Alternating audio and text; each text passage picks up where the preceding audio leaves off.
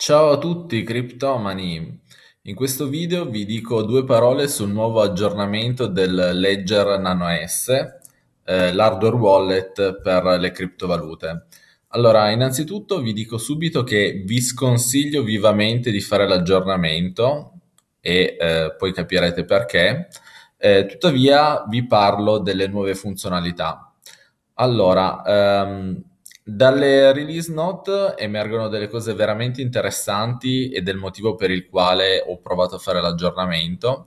E eh, prima di tutto è il modo in cui vengono gestite le applicazioni che vengono installate sull'hardware wallet.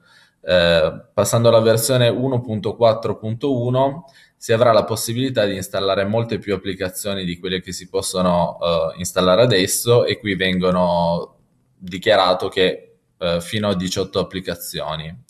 Bene, poi vabbè, viene cambiato il firmware, c'è la possibilità di eh, schiacciare i tasti per forzare la, la modalità, diciamo, screensaver in, in standby e eh, vabbè, altri miglioramenti di, di, questo tipo e ovviamente si possono installare più applicazioni su questo ledger eh, perché eh, viene cambiato diciamo, la struttura delle applicazioni del, dell'hardware wallet. Qui ci sono tutti i dettagli, i, i nuovi tipi di crittografia supportati dal, dal firmware, eccetera. Eh, perché dico che eh, sconsiglio l'aggiornamento?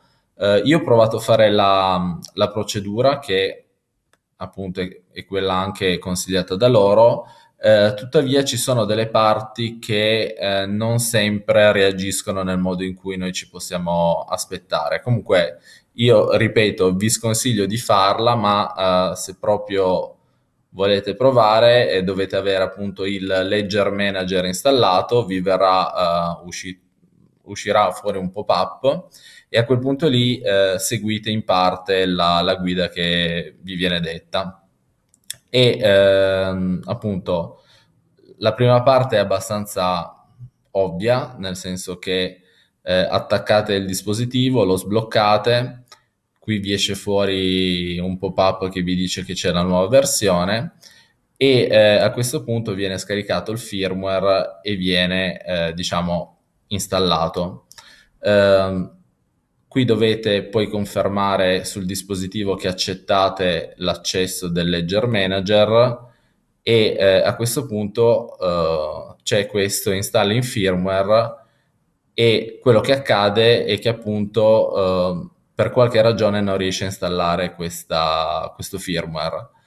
E eh, tuttavia, eh, tuttavia facendo partire l'hardware wallet con il tasto premuto vicino all'USB c'è la possibilità di eh, recuperare questa installazione e eh, andare avanti.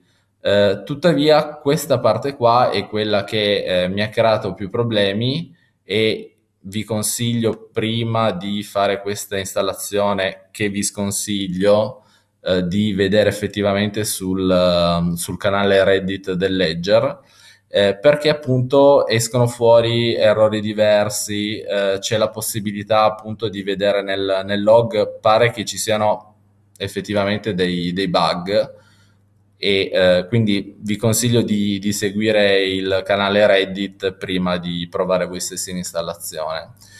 tuttavia, eh, appunto, qua potete riprendere questa installazione, eh, però nel mio caso io ho guardato un po' i log, non uh, pare ci siano degli errori o verso server Ledger oppure altri problemi di, di questo tipo e quindi vi sconsiglio vivamente di, di fare questa operazione.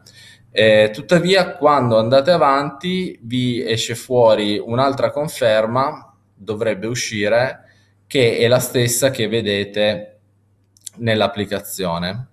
Quindi a questo punto qui state ripristinando il firmware vecchio con quello nuovo.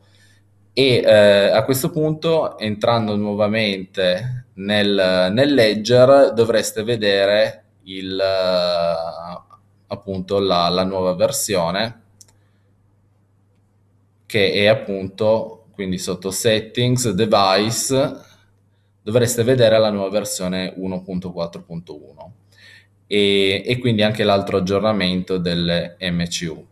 E che dire, l'aggiornamento sarebbe molto interessante, eh, tuttavia secondo me ci sono ancora delle limitazioni per, per, fare questo aggiornamento ed è per questo che ve lo sconsiglio.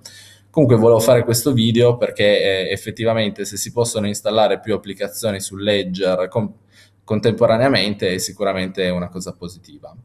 Per adesso vi saluto e ci vediamo in un altro video. Ciao!